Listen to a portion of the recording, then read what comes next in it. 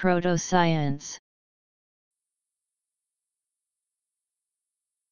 An unscientific field of study which later becomes a science, e.g. astrology becoming astronomy and alchemy becoming chemistry.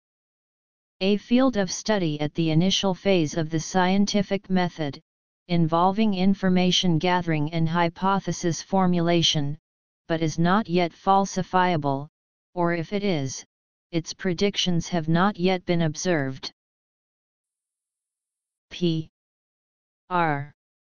O. T. O. S. C.